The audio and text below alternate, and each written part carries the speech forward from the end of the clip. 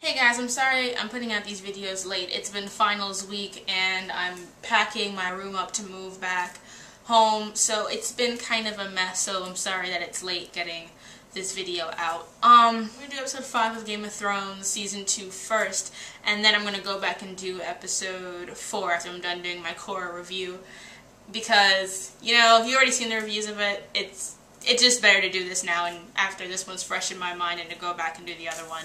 First of all, let me talk about my man Stannis. See, I never used to really like Stannis, but now watching the show and thinking more about him, that's my homeboy. That's my dude, future king of Westeros, holla back.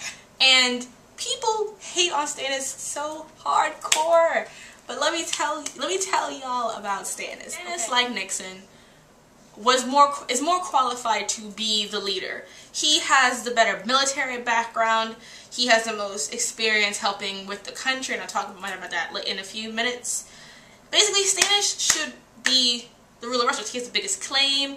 He's the smartest of the of the of the um of the two. He he he should be the king of Westeros. It's I for reals.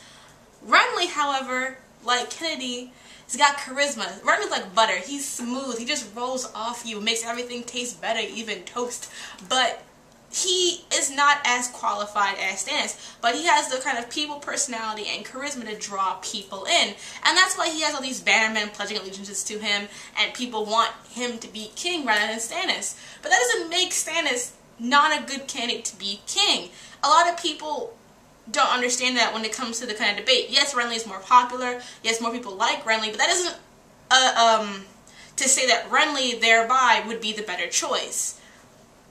And to go into it more, people are talking about, oh, Stans, no, he's going to lose to Renly, he a punk, da da da, this, that, and the third. And I'm just like, no. Okay? First of all, if Stannis and Renly were to meet one-on-one in open combat, Stannis would win. Because who's a warrior? Stannis. Who's a general? Stannis. Who's a commander? Stannis. Who's the one who's won battles for Robert during his whole rebellion? Stannis. Stannis, Stannis, Stannis. Who, and this isn't a spoiler because they didn't mention this in the first season, but who worked with Jon Arryn to help be hand of the kingdom and help figure out that Cersei's children were bastards? Stannis. Okay? Stannis, get shit in. He is homie. He is good. And people, but people don't don't know that and don't see. They don't appreciate him even though he does all these things because he's not like, hey, what's up, let's go hang out, let's be cool, like Renly is. And that's really the big thing when it comes to Stan's character. Because if he had met Renly in open combat, done two, best believe Stans would have won. The only thing that Renly has going for him is that he is charismatic and has bannermen, um, and more bannermen than Stannis. And to get into so so if even if Renly had gone to go fight Stannis himself, he would have lost because he had Renly can't fight. He's not a warrior. He's not a soldier. He's afraid of the sight of blood. He wasn't going to win. Okay? Point blank. So let's not even try to make it look like Stannis is a pussy, because Stannis is not a pussy. He is a general. He has Melisandre, I can pronounce her name now, hey. And if he knows that he can beat Renly without having to spill a drop of blood from any of his men, you do that because that's what generals do. Generals don't go into battles all within the just trying to like let's just slam against her to see who wins. Because Renly's all like, I have more men, I'm just gonna crush them, bam, boom. That's not how he's thinking about that. Just he has more people, so he thinks I have the advantage. That's great. Stannis is like, I don't have the army, and even though he's a better general, and he th there's a chance that he could still win even with less men. However, he knows the risk of if he goes into battle with Renly because he has so many men, he could risk losing the few bannermen that he does have, and thus ruining any chance of him getting his claim to the Iron Throne. So what does Stannis do? He uses his advantage, Melisandre and her magic vagina, to give birth to Shadow Baby Stannis to go kill Renly. Because that way he has just beat Renly without killing any of his men. All of his men are intact. Now, Renly's entire army fucking don't know what the hell to do, so now they go to Stannis. And he didn't have to kill, have any of his men die for that. That is how generals think. That is why Stannis go win this war. Bam. Don't care, don't care. Status, status, status, status. So yeah, and like he he he, I'll admit he is cold, and that's who he is. But they don't. The, the thing about the show is that they don't get to go into backstory as much. Stannis got shit on by people all day, every day. So as far as I'm concerned, let my boy go. Only person who can go against him for the throne is the nearest motherfucking Stormborn Targaryen. She gonna take what's hers. That's it. Those are two. Everybody else, go go fuck yourself. I don't, I don't care. Stand. That's my public stance announcement. And now a recap of the show. Um, well, we get the opening scene with Renly in the tent with um, Catelyn and Brienne, and this scene I enjoyed. I know some people kind of felt like it was um underwhelming, but that's the thing. Like someone, I was listening to a podcast of Ice and Fire, and they brought up a really good point. Is that like in this show, people just die. You like a character, they can just die. Middle of the series, don't give a shit, just gone. Because that's how this game is played. You are expendable. And Renly is too. He's just another of many. And so he dropped like a fly. The only problem I have with this scene is Brienne because she just killing mofos. Like just like bam, boom. I'm like, damn, calm your ass. And that's not what happened in the books, because originally it's Loras who goes fucking ape shit, and I feel like they made him so subdued, and he never got to really show, like, their relationship was kind of like under was like there were subtext in the book that they were gay, but it never came fully out. There were lots of hints though. But in the show, you make that you show that they're a couple, that they're gay, they like each other, blah blah blah. So why don't you just have him react that way? I mean, you can talk about more about how Brienne loved Renly and all that bullshit later on. Why do you have to give Loras' scenes to a woman? I didn't like that. But then Cat's like, girl, we got to get the fuck out. I was like, that's right, Cat. You ain't trying to lose your life in this tent. You better get the hell out of there.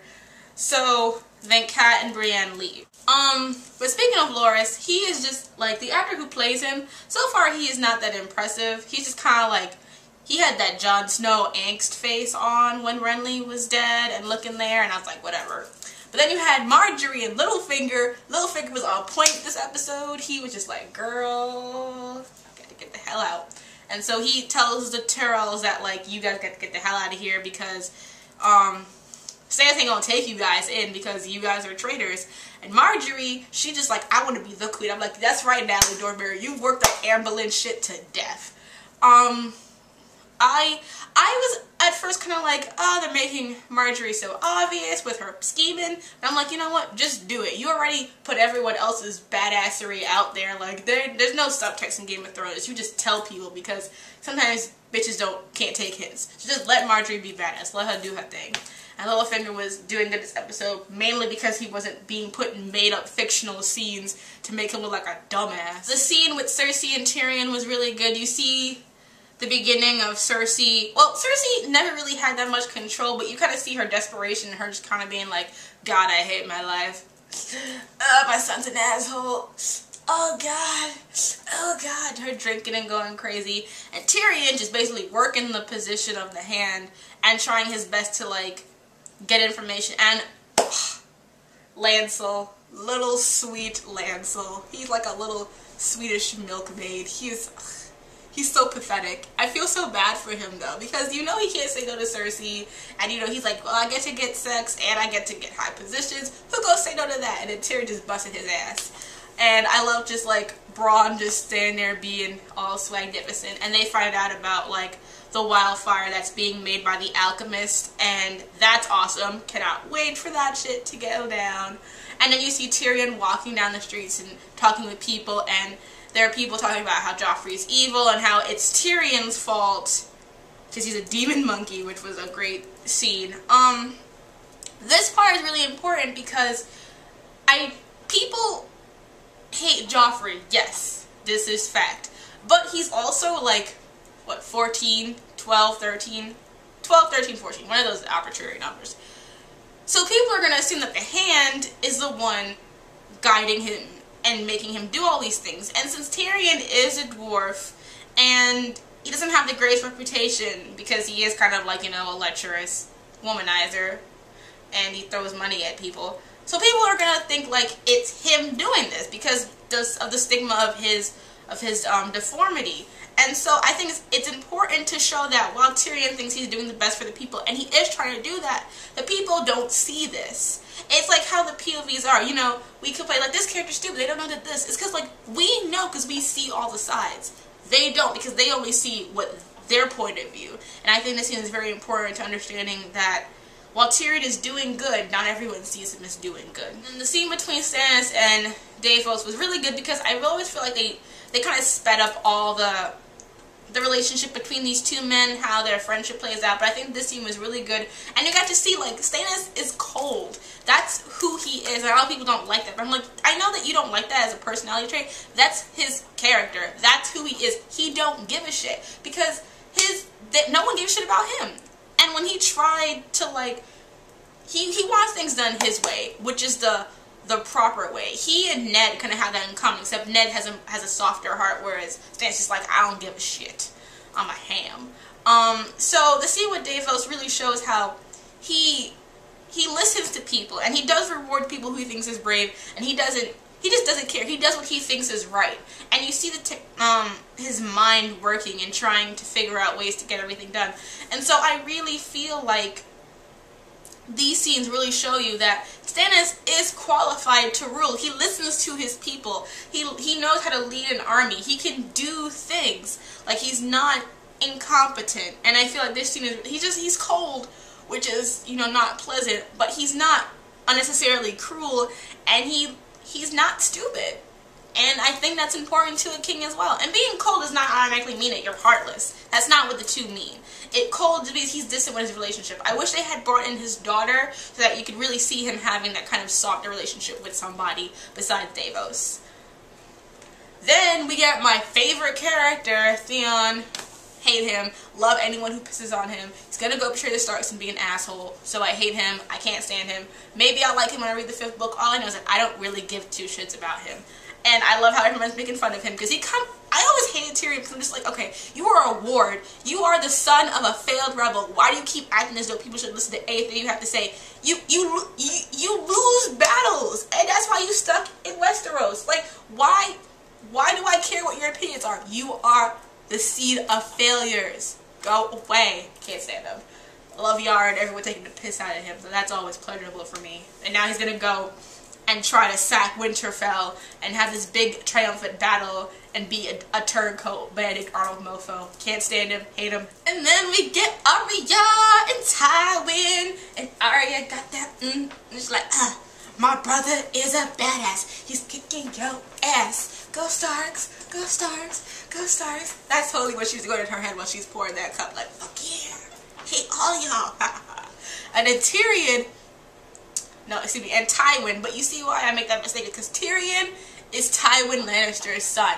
That that mind is right there, right there. And I love how they're making that so clear in the show that that's his fucking kid. Cersei's stupid. Jaime's stupid. Tyrion, with it. And Tywin, he, like Stannis, are both like, they're cold people, but they both also don't hide from the obvious. Ty Tywin recognizes that they've been treating Robb like he's insignificant. That's a problem. And he knows how to think and how to read people. He's that like the actor who plays him is so good.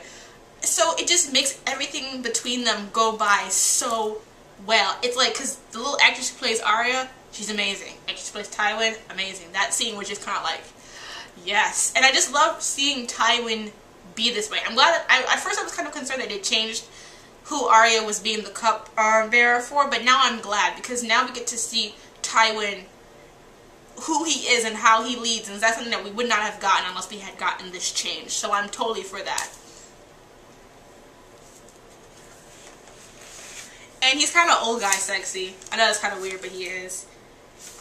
Um, Jaqen, or however you pronounce his name, the sexy guy with the rogue streak, he comes in he has a scene with Arya telling him that she saved the lives of three people. Sorry about that. She saved the lives of three people and now he's to pay her back by killing three people for her. And first she asks him to kill Tickler, who's the torturer, and then we see at the end of the episode, after we get this scene of like sexy ass Gendry, that he did this, and Arya's like, "Oh shit, I thought she was full of crap, but you actually got magical powers, kinda maybe." Um, the only problem I have with with them killing Tickler is that there's a scene later on that happens that I think is really important for Arya's character and, char and another character. But I'll see what they do. I won't get too pissy about it then, but I just it's still a great scene and it really defines like the relationship between Arya and this and Jaqen and all that kind of good and shit. fucking Jon Snow storyline.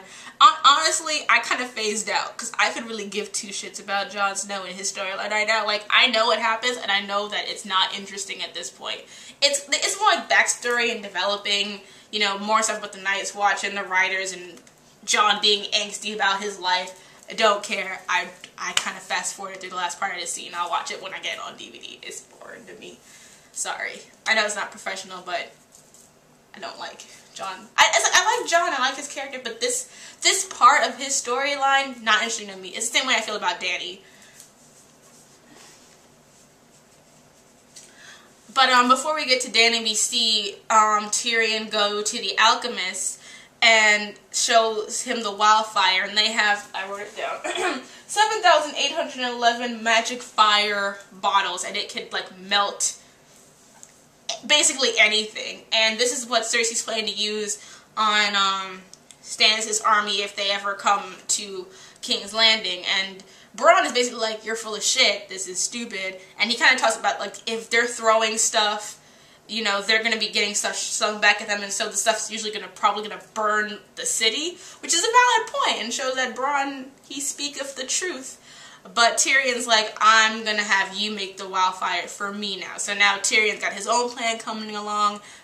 He about to be cool. Then we go to Danny. Danny is in Qarth and she's basically being the great white mother to everyone, telling her poor little brown Dothraki people not to steal and teaching them manners and shit. That just kind of annoyed me. I mean, I get that they're doing the whole culture difference thing, but it's just kind of like, really? This is so awkward. It's kind of just awkward to watch sometimes. But the acting is great, and it does show the relationship. I like the relationship between the handmaidens, and how they're kind of like, my Khaleesi, no, my Khaleesi. You know that that's entertaining. And also Jorah being jelly because you know he wants to get some of that Khaleesi goodness but she like nah. You ain't you ain't man enough for me.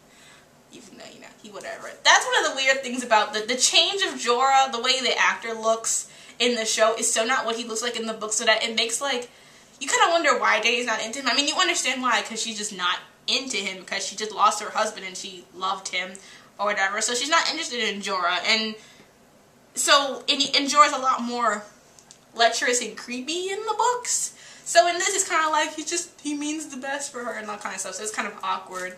And then um, one of the thirteen, the I forget his name, the black guy. Sorry, but the um.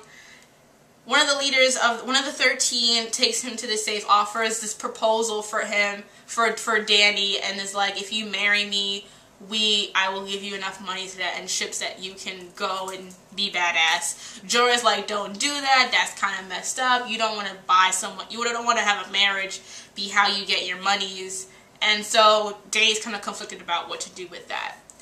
And then we go to Bran, who's being a leader, being all adorable and shit. And we got Rickon just bashing nuts like a crazy, like a little feral child. It's awesome and Bran is like, there's an attack coming on, and she sends out all the soldiers to go mind that attack.